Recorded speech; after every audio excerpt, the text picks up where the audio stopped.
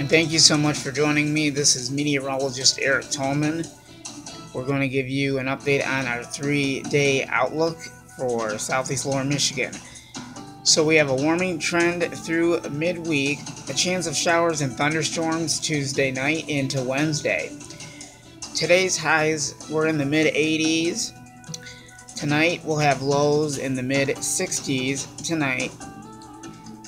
For uh, Tuesday, uh, hot and increasingly hum- humid, highs near 90 degrees. Wednesday, showers and thunderstorms, 50% chance.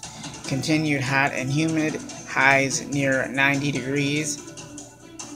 And on Thursday, highs in the mid 80s, 40% chance for showers and storms. We'll see in a little bit.